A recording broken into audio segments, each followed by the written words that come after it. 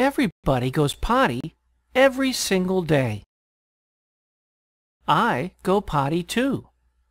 Sometimes I need to pee, and sometimes I need to poop. I do not like it when I go potty in my underwear. It is wet and feels bad. When it's time for potty, or when I feel like I need to go potty, I need to stop and go. I stop whatever I'm doing. I go to the bathroom right away so I don't have an accident.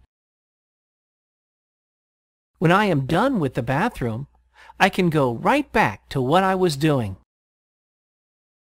This is how I go potty in the toilet. I pull down my pants. I pull down my underwear. I sit down on the toilet.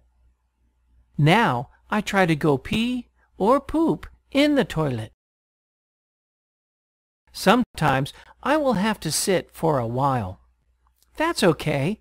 I can look at a book or listen to music while I sit. I went pee in the toilet. Sometimes I go poop too. After I poop, I need to wipe my bottom with toilet paper. I will try and wipe myself until my bottom is clean. I might have to wipe two or three times. My mom, dad, or teacher might help me with this. When I am done, I get off the toilet. I flush the toilet.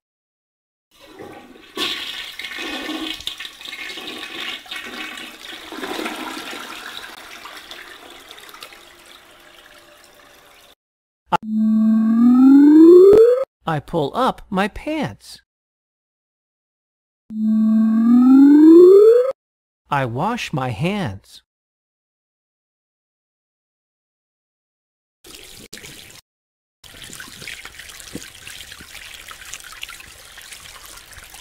I am ready to go play again.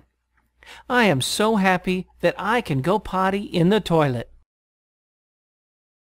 When I, I go pee or poop in the toilet, I get a special treat.